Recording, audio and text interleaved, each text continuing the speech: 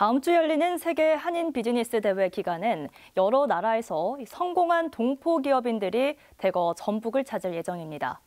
이들의 성공 스토리는 세계를 누비는 기업인이나 상공인을 꿈꾸고 있는 도내 대학생들에게도 좋은 밑거름이 될 텐데요.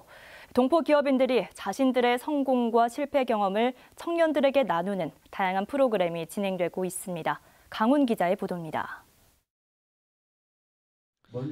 학생들이 눈을 반짝이며 강의에 집중하고 있습니다. K컬처 열풍에 한상들의 역할과 존재감이 커지고 있다는 내용의 강의입니다. 학생들은 동포 기업인들의 사례를 들으며 자신이라면 어떻게 활용할 수 있을지 고민해 봅니다.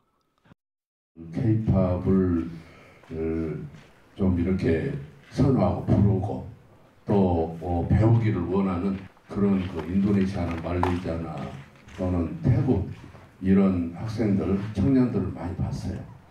한인 비즈니스 대회에 맞춰 지난 4일부터 도내 학생들을 위한 특강이 진행되고 있습니다.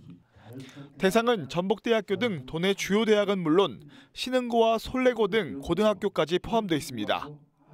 이 프로그램에는 동포기업 CEO와 학자 40여 명이 나서 자신의 경험담과 연구 사례를 전하고 있습니다. 이 어떻게 하면은 이 한상 네트워크를 통해서 해외 취업이나 창업을 할 수 있겠는가 이 방법을 가르쳐 드리는 거죠.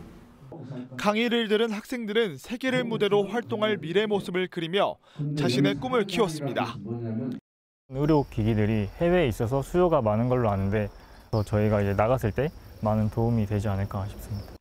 전북자치도는 이 같은 프로그램이 전북 청년들의 도전 정신을 키우는데 큰 밑거름이 될 것으로 기대하고 있습니다. 전북 청년들이 도전적이고 개척 정신을 가진 한상의 꿈을 키워나가는 아주 중요한 계기가 될 것으로 기대합니다.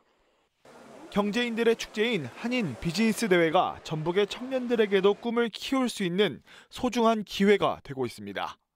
JTB 뉴스 강훈입니다.